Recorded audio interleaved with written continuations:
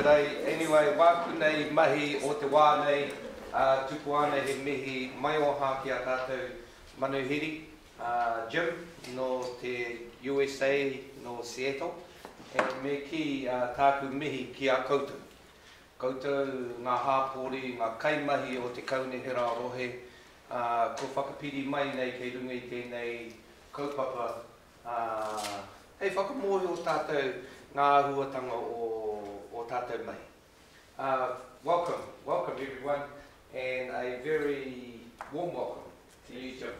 All the way from Seattle. My great auntie actually lives in Seattle, but I haven't been to Seattle yet. Gotta come. We were very close. We're in Vancouver. Oh, gosh, oh, that's close, isn't it? That's only across the border. Um, you've all read Jim's background. Um, he arrived yesterday, and I happened to be at the airport as well, so we greeted each other. And thanks to um, um, Yvette and where's Miss Akuhaka uh, for their um, support and the welcome at the airport. But hey, thanks to the community, to our community that's come together today um, to learn about how we can actually another way of doing things. I'm not quite sure whether it's going to be better, but another way of doing things because Jim has a wide experience in, um, in community partnerships uh, between local government, government. Um, they've got so many steps of government over there, it's, um, I'm not quite sure whether it's confusing. But the important thing is actually to have that community participation. And um, we're, we're very keen on that. Um, there's going to be another meeting in Elgin this afternoon, The one on the floor. one, one on at 4 o'clock. And we've had a breakfast um, meeting at the Emerald Hotel overlooking the river, and there was quite a few um, business people participating in that as well. So thank you, Jim. I know that you might be a bit weary from your travels. I hope that they pay for a reasonable fare uh, for you to come over here, but we're looking forward um, to what you have got to share with us. And it's a great world. This is a very, it's, as much as it's um, tyranny by distance, it's actually a very close, um, close world. I went to a little seminar a little while ago, or last week actually, and the, the thing, the big thing about today and a hundred years ago is actually time. How quick things actually happen. Like it probably um, took three or four days to come from Hicks Bay to Gisborne. Now it's two and a half hours. It used to be on, um, you fly pigeons to, to um, take your messages during the war or, or to communicate with each other or fires or something like that. But now at a push of a button you can get into trouble. So, very quickly too. So time is um, the tyranny of um, um, issues nowadays. And somehow, some people say we still haven't got enough time. Things are travelling so fast and things are happening so fast and things can go viral very quickly. But Jim, uh, welcome. Thank you. Nau mai harami uh, tēnei te rohe o te Tairawhiti. Welcome to the first city in, in the world greet the sun. Even though some people have tried to shift the baseline, they can still not get 46,000 people. so no reira tēnā.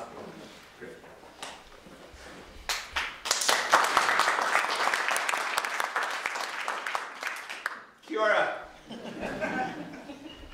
Oh, it's wonderful to be here. Really wonderful. I, I arrived late last night, so I couldn't see a thing. And then this morning we had the uh, workshop up on the fourth floor of the Emerald, and so I looked out over the beautiful, the three rivers, the bay, uh, and Meredith took me on this uh, walking tour. What an incredible ambassador she is for this city. She's just so proud, and for good reason. Just all the heritage buildings that are still intact, the wonderful palm trees. I just love the clock tower. Uh, and I'm eager to see the rest of the city. Just, just got a little taste of it between sessions. Um, so um, before we start, I'd really like to find out who's in the room. Um, so if we could do a real quick Mexican wave, okay? so if you just stand up. Hi, I'm in, my name's Jim. I'm from Seattle, and um, so just say who you are, um, what you do, and if there's any in you'd like to get out of this workshop, okay? So let's just a real fast, real fast wave, okay? If it from JSA and I'm just here, I don't You just put it all together, that's all. But thanks, good start. Jenny from Gisborne Volunteer Centre. Great, great.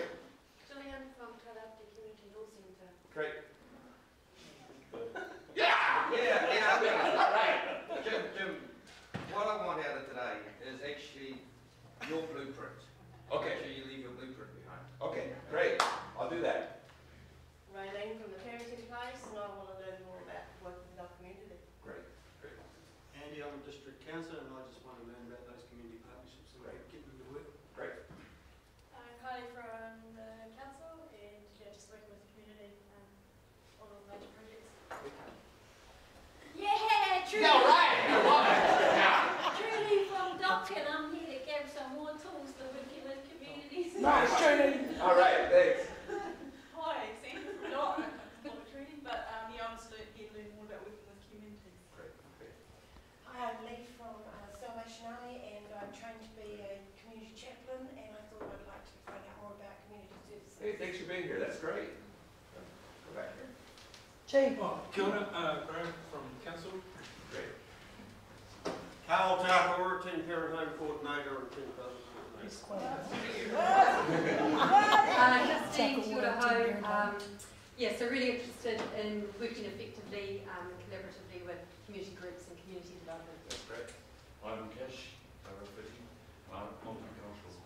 Great, great, thank you. We got that. Um, got it, um, Manila from Sport Gisborne and um, interested in sort of community consultation and communication. Great.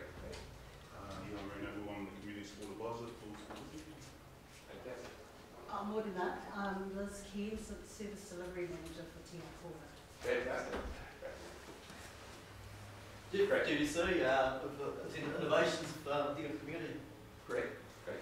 I'm Deanne from council and I thought I was coming to a party. All right, all right, that's great. It's a very slow. You're in the right place. I'm Sally from PDC and I'm interested in engaging the community for our long-term plans. Great, great. Yeah, Yeah, yeah. council, uh, I'm interested in creative design and collaboration. Great, fantastic. I'm Sarah from council. This is mainly the policy team, so we'll be Great, great. representing. Yeah. Yeah, I'm Megan Dever from council and I'm here to hear what you have to say. Great, great. Uh, kia ora, Jim, koutou. Um, I'm Kitty Allen from the policy team. Um, I came here for a party and I could see a lovely fridge over there. Kia ora, um, my name is Barbara Walsh, I'm from Children's Services at HB Williams Memorial Library. Uh, kia ora, Jim, I'm Penny from the library too, Penny Walsh, not related, and we're here about partnerships. Great, great. Hi, um, I'm Mike, uh, GDC, uh, Projects Engineer, and I'm here to learn. Great, great. Uh, kia ora, I'm Kerry from the HB Williams Memorial Library. I'm outreach and promotions and I'm here interested in building stronger communities. Fantastic, great. Yeah, everybody, my name's Alha, I'm from the library. All right. No one's at this name. Yeah, yeah, right. Who's running the city, huh? Good evening, I'm Grace Lee and I'm also from the HB Williams Memorial Library, I work in clinical services. And I've heard some great stories about you, that you have really good stories about the Uh-oh. effective engagement with communities. Okay, Maybe I might be able to take something on board and Great. apply it to my job. great, great. Uh, kia ora koutou, I'm Eva, I work here at GDC. I heard you're an inspirational speaker and I came to Oh, be God, pressure's on. Okay. Kia ora, I'm Robin. Uh, I work, um, sorry, I'm the secretary of the Māori Open Community Working Group. And uh, so I'm infiltrating from the other side of the community group, wanting to know what everybody else is thinking they're going to do with it. Um, but I'm doing this so I can relax tonight. Great, Thanks. great, Hi, I'm Jill and I'm from the council as well. great, great. Hi, I'm Eileen, I'm from the council as well, and I have my party shoes on. All right. I'm Manu, um, here because Meredith told me I need to come. but I hope that we've got some time to kind of do some discussion in our groups or Yeah, whatever, um, yeah. not just listen to you, Yeah. but talk to us. Okay, okay. Okay. Uh, I'm Darryl Monteith, I'm Commercial Manager for Tourism Eastland, which is the regional tourism organisation, and I'm here to find out how we can get an army of people like Meredith who are so proud of Yeah. our place and they make you feel so welcome. Um, and also involved voluntarily in revitalising our community arts organisation. Fantastic, great, great. I'm Pam, I'm council for Waikahu and I'm interested in working on the council. Oh, thanks for coming all the way over, that's great, thank you. That's great, Uh, Janet, manager of the Gisborne East Coast Cancer Society. great, Kia ora Jim, Molly Pardo, Safe Title for Communities. great. I'm here to celebrate because we've got lots to celebrate. Yeah, you do, yeah, yeah, good. Kia ora, Christine from the East Coast, volunteer cancer, volunteer at the Cancer Society, and I'm here to party and take everything off you. All right, that's great, thanks.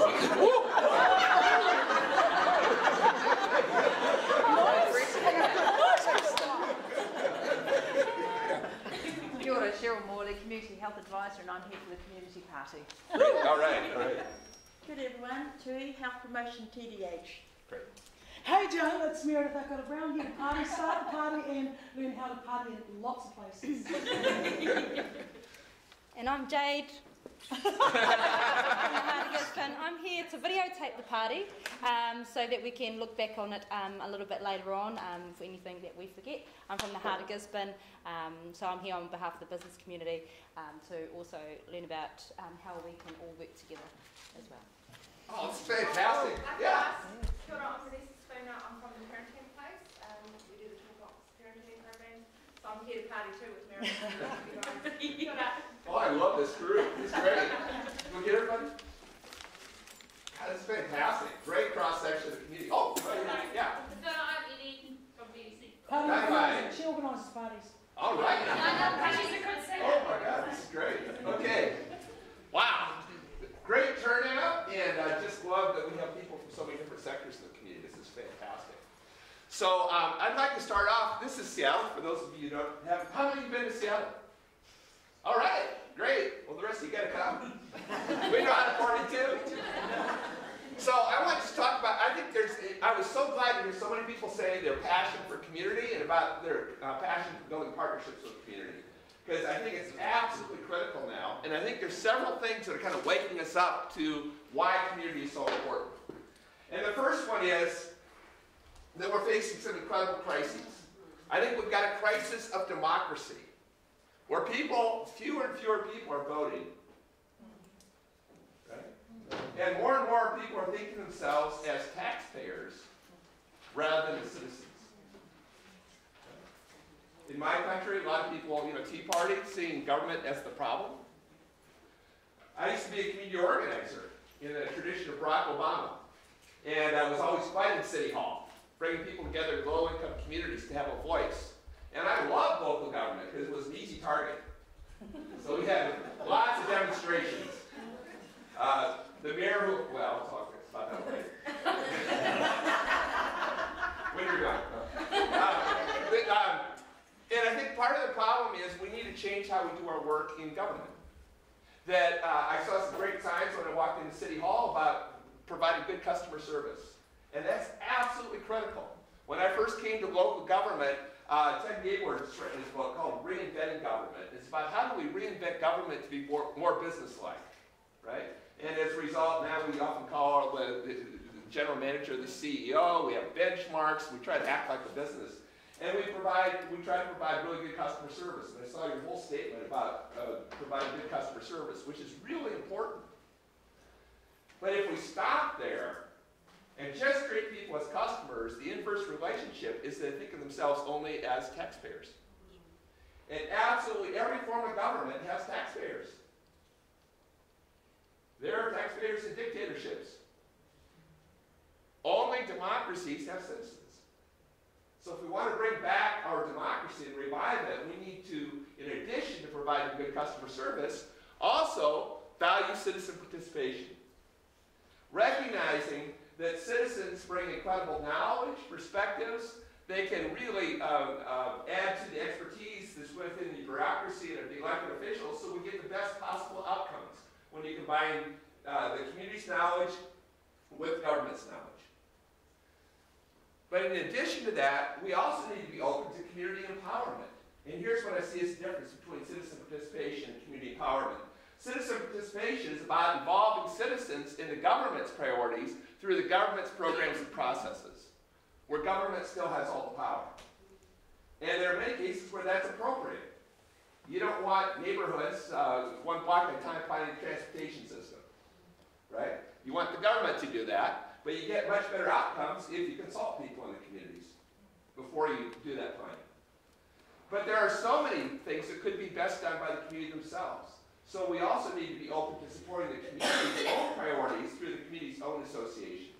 So we support community initiatives and not always expect the community to be involved in our priorities. The second major crisis we're facing is the crisis of the economy. where the very time where people's needs are the greatest, our local government, our nonprofits have the fewest resources to respond. Right? Uh, I just see this all over the world right now. Huge budget cuts in local government everywhere and in our nonprofit organizations. And so nonprofits and government are starting to, to move beyond this map of our places. These are, this is the traditional map that agencies have had of our communities, where they focus on all the problems, all the ways it can be helpful. We often say that agencies need needs. Thank God there are, there are problems in the community, or a lot of people here would be out of work, right?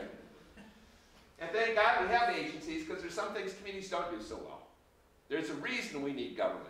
There's a reason we need nonprofit organizations. But over time, this has become our sole map of the places with which we work. And we've forgotten about this map in the same place, which are all the strengths that are in our communities, all those underutilized resources that are the basis for real partnership. And people are starting to rediscover this map now because of the economic crisis. People are realizing there's tons of un underutilized resources in our communities. And we're starting to tap those. The third crisis we're facing is the crisis of climate change. And I think people are starting to realize that we aren't going to deal with climate change just through inventing more green technology. People have to actually adopt it. And people will only adopt it and live in a more responsible way if they feel some connection with one another in the places they share. If we just think of ourselves as individuals, what difference does it make if I don't recycle? If I waste gas, I'm one person on this huge planet. But it's in community that we take some accountability. It's in community that we recognize that collectively our actions are going to make a difference. So there's absolutely no substitute for community when it comes to dealing with climate change, dealing with the environment. I want to share a story from one of our neighborhoods in Seattle about the power of community to care for the earth. This is um, a program based on a, a, a, a program I'll talk about a bit more later called the Neighborhood Matching Fund where we provide a cash match from city government in exchange for the community's equal match of volunteer labor in support of a community-initiated project. So this project happened in our Ballard neighborhood. Ballard is the city, the city of Seattle has about 600,000 people, but our neighborhoods have about 5,000. So that's the scale I'm talking about. Ballard was the neighborhood in Seattle that had the least number of street trees of any neighborhood in Seattle. They also had the fewest number of parks outside of downtown. And there was a woman in Ballard named Dervilla Gowan. She cared passionately about trees. She wanted to see trees up and down the streets. So she put notices in her church bulletin. She put notices in the local paper, the Ballard News Tribune, advertising for other people who shared her passion for trees. And she tried to find somebody in every block in Ballard. And if nobody came forward, she'd go to that block, she'd knock until she convinced somebody that they shared her passion for street trees. And then she got that person sign a pledge form saying, I'll come to a training about how to plant take care of the trees, and I'll recruit my neighbors to do the same thing. So she turned in all of her pledge forms to their matching fund application. And one day, trucks pulled into our neighborhood with 1,080 trees. Wow. Dropped them off at every block in Ballard. Dervilla went and knocked on the door of the block captain and said, the trees are here. Block captain knocked on the neighbor's doors. That day, over 1,000 people came out to plant trees. People felt incredibly empowered. Beginning of the day, they those street trees. The end of the day, they had tree-lined streets. So look what we can do if we work together as a community. But they said we still have the least number of parks of any neighborhood in Seattle. So they walked around the neighborhood looking for potential park sites. Had a hard time finding them because the neighborhood is pretty built out, pretty developed. But they finally found this old rundown house that used to serve as a nursery. Um, and the property was overgrown, huge public safety problem right next to the business district. They convinced the city to buy that property for a park. But the city had no money to design or build the park. So the neighbors did it themselves. Local landscape architect volunteered her services and worked with the other neighbors, and together they designed and built Baker Park, all with volunteers. This is entranceway into the park. There's some beautiful landscaping in this park. There were some nice trees in this park, but one of them, a huge tree had died, and they're trying to figure out how to remove it. And then one of the neighbors, who was Native American, had a better idea and carved it in place as a totem. And here's some of the detail. A bear with a frog in its mouth, kind of a symbol returning nature to the city. This group went on, and the next year they built a community garden. This is now one of 85 organic community gardens we have in the city of Seattle. Uh, 7,000 urban gardeners. Collectively, they donate 15 tons of organic produce to our food banks every year. And all these gardens were built by neighbors. This is their most recent park. Uh, this is the site of a former house. So to commemorate the house, they built all the furniture out of cement. and at the dedication for this park, they unveiled a timeline that shows the 20 parks they built over the past 20 years. Every one of them with volunteers. They built ball fields. They built playgrounds. They're restoring a salmon estuary. They're renaturalizing natural areas. They worked with kids to build a skate park. 20 parks in 20 years. They said, well, this is great. We made our neighborhood a much better place, but we're concerned about what's happening to the planet. We're concerned about climate change. So they organized an all-volunteer group called Sustainable Ballard. And they have a big festival every summer. They call it Sustainable Ballard Fest. And in their park, in the middle of the neighborhood, they have music and they got food. They have a party to bring people in. And then they have all kinds of booths to educate neighbors about what they can do to reduce their carbon footprint. And the first booth you go to is the undriver's license station, where you go and check all the ways you will not drive over the next month. And when you do, you get a laminated undriver's license. Julia Fields the one who organizes this, and she says, I'm going to walk, I'm going to bike, take transit, etc., etc. And when you get your undriver's license, it entitles you to drive the shuttle bus. this is like a Fred Flintstone mobile. It's pedal by feet, it's going down the street, streets, get everybody's attention, it gets people thinking, what can I do to get out of my car? What can I do to reduce my carbon footprint? This now has created a movement. All the neighborhoods around Ballard have organized their own all-volunteer sustainability groups. All the suburban communities around Seattle have done the same. We now have 67 of these all-volunteer groups, and collectively they call themselves Scallops, sustainable communities all over Puget Sound. And it all started with Dervilla Gowan and those street trees. Incredible untapped potential in our communities. And it's the only way we're going to deal with climate change. Second unique power of communities, the power to prevent crime. We could have police officers on every street. We probably wouldn't feel as safe, and it certainly wouldn't be as appropriate as neighbors just watching out for each other. Police officers can enforce laws, but only communities can prevent crime. This is a story from our uh, SoDo neighborhood, which is the warehouse and industrial area just south of downtown Seattle.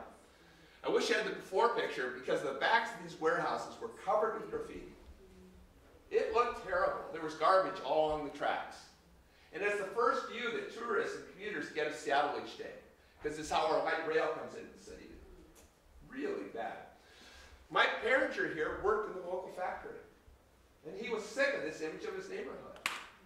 So Mike had a great idea. He says, why don't we see the backs of the warehouses as potential canvases for murals? He called it the Urban Art Corridor. But Mike had an even better idea. He worked with our court system, and he asked the judges, could you offer the kids who get busted for graffiti an alternative sentence where they could come and help us to create the murals? Not an easy decision for the kids because they had to show up at work on time, they had to dress appropriately, they got life skills training, but young people were mentored by professional artists, and young people created every one of these murals. And we found that as long as the kids were involved in this program, not one of them reoffended.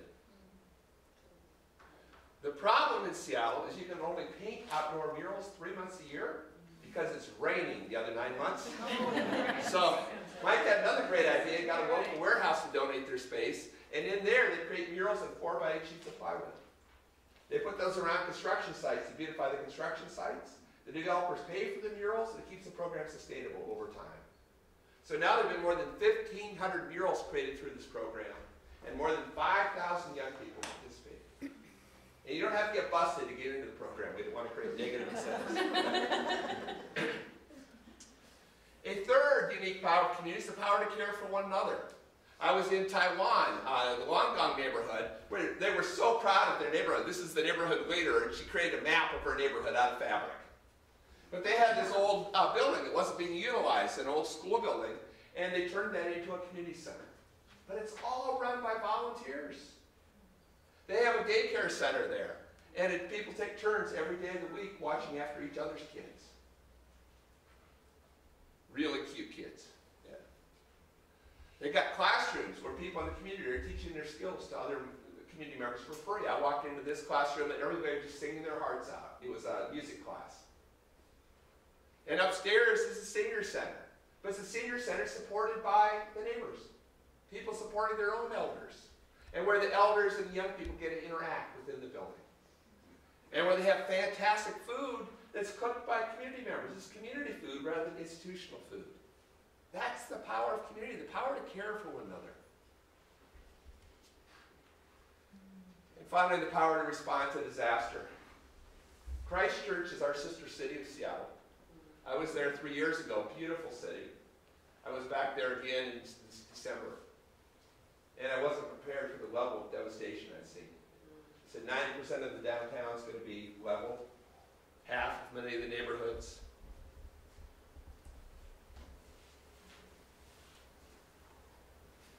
But what was really amazing to me was the spirit of the people. I talked to locally elected officials who said they learned through that earthquake, yeah, it's important to prepare those emergency kits, but there's nothing more important than just knowing your neighbors. Nothing more important. And people often realize it when it's too late. And the creativity and the spirit of the community, despite that incredible disaster, is just amazing. They have vacant lots everywhere, and community members are coming together to create those bumping places that are so critical to building a sense of community. Really creative bumping places. So this is right downtown Christchurch, where they lost a major hotel. And they wanted to create a concert venue to bring people together. All they had were a bunch of old construction pallets. So they built the Blue Pallet Pavilion. I was there oh. opening day. Just a fantastic place with all that greenery growing in it. That's the creativity that comes out of community, the spirit of community, despite huge tragedies. I was another vacant lot. Somebody had an old washing machine, and they hooked up and they put speakers inside it, and you come and connect your iPod, and then uh, you play whatever dance music you want, and everybody comes out and dances. In the aftermath of an earthquake, people come together to dance again, to celebrate community.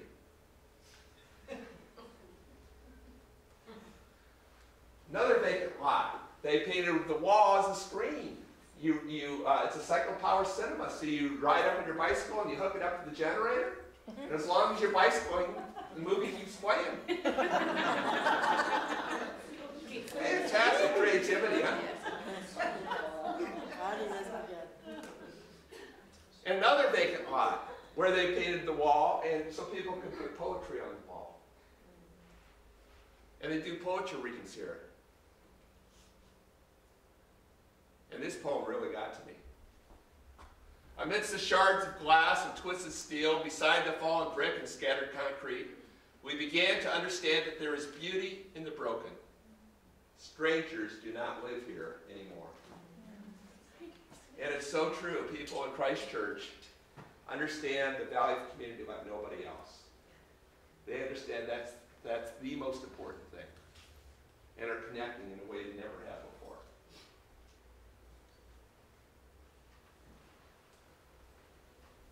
So, in the same way, I think uh, uh, the community is uniquely capable of dealing with health.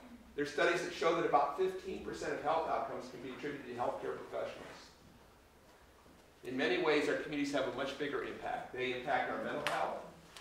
They impact the social conditions that affect our health, the environmental conditions that affect our health, the economic conditions. They affect our behaviors, all those things that impact our health. Our happiness is dependent on strong communities. The best places are created by strong communities. Social justice. In my country, no major social change has ever come top down. It all happens bottom up. The civil rights movement, the women's rights movement, the disability rights movement, the gay lesbian rights movement, the environmental movement, the anti-war movement. It's all come bottom up. So without strong communities, we can't make change. And our very democracy is